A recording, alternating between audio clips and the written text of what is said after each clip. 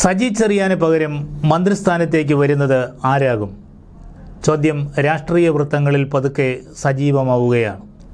നാല് സാധ്യതകളാണ് ഇപ്പോൾ പാർട്ടിക്ക് മുന്നിലുള്ളത്.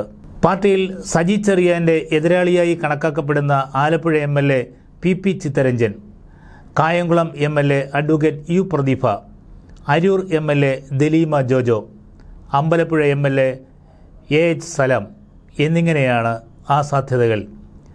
കോടതിയിൽ നിന്ന് ഭരണഘടനാ വിരുദ്ധ പ്രസംഗത്തിനെതിരെ കാര്യമായ പരാമർശങ്ങൾ ഒന്നുമുണ്ടായില്ലെങ്കിൽ സജിക്ക് തന്നെ മടങ്ങി വരാനാകും എന്നൊരു സാധ്യത കൂടി പരിഗണിക്കപ്പെടുന്നുണ്ട്.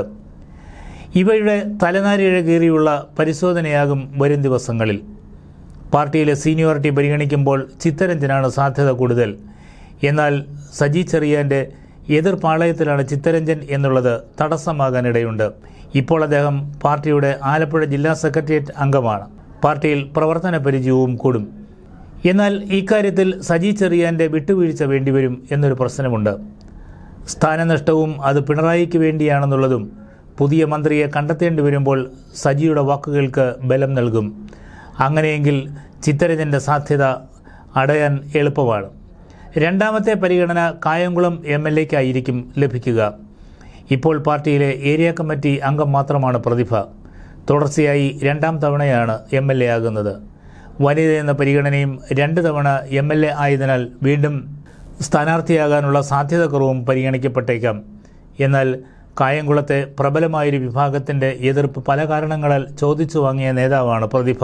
സാമൂഹിക മാധ്യമങ്ങളിലൂടെ പാർട്ടിയെ പലതവണ വീട്ടിലാക്കിയിട്ടുമുണ്ട്.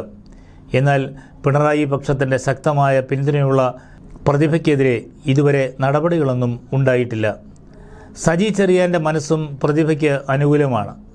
മതന്യൂനപക്ഷത്തിൽ നിന്നൊരാളിനെ മന്ത്രിസ്ഥാനം നൽകാമെന്ന് തീരുമാനം വന്നാൽ ദലീമയ്ക്കോ സലാമിനോ സാധ്യതയുണ്ടാകും.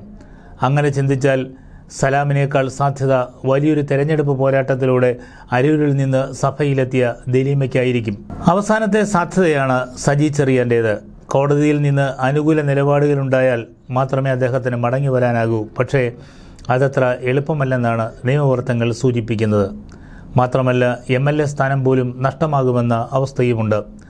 അതിനാൽ സജിയുടെ കാര്യത്തിൽ കുറഞ്ഞ പരിഗണന മാത്രമേ ഉള്ളൂ.